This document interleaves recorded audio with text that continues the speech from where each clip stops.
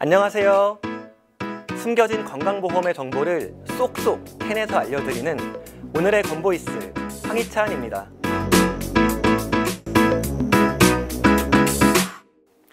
중증장애인 98만 명의 시대 2020년 한 해 동안 2만 6천 명의 중증장애인이 등록되었다고 하는데요.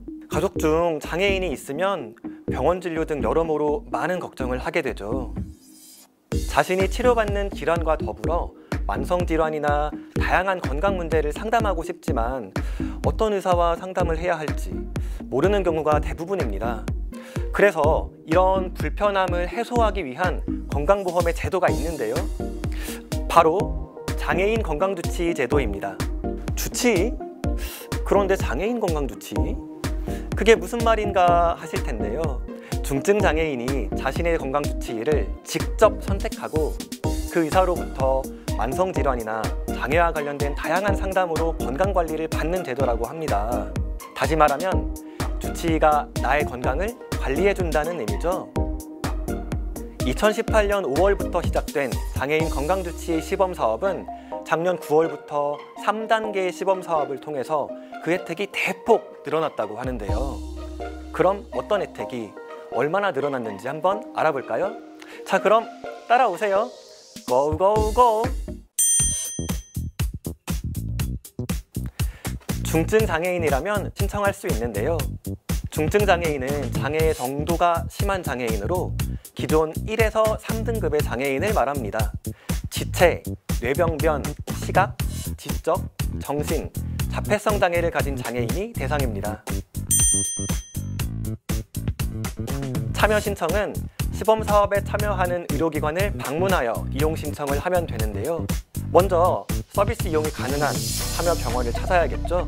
참여 병원은 국민건강보험공단 홈페이지에서 직접 확인할 수 있다고 합니다.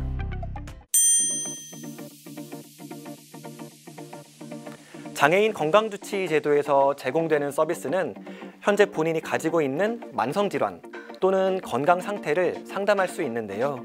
본인의 상황에 따라서 연 8회까지 건강에 대한 교육과 상담이 제공되고 월 1회 환자 관리, 연 18회 방문 서비스를 제공받을 수 있습니다.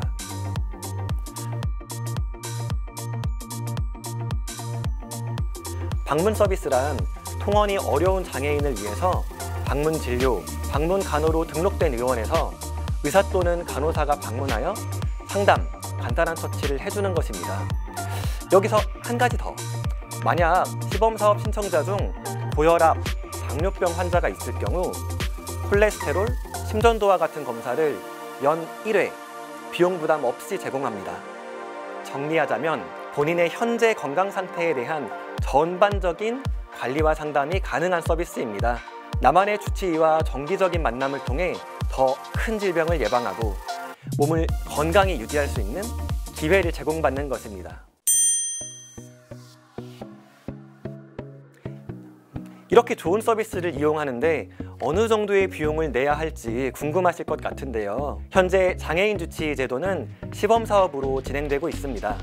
건강보험 가입자의 경우 서비스 비용 총액의 10%만 부담하시면 되고 차상위 계층과 의료급여 수급권자의 경우에는 본인 부담금이 없다고 합니다. 오늘은 장애인 건강주치 제도에 대해 알아보았습니다.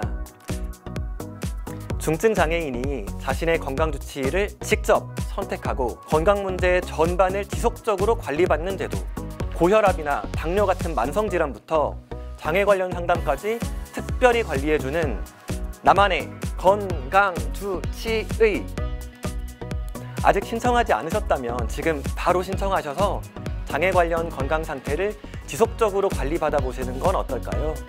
지금까지 숨겨진 건강보험 제도를 알려주는 건보이스의 황희찬이었습니다.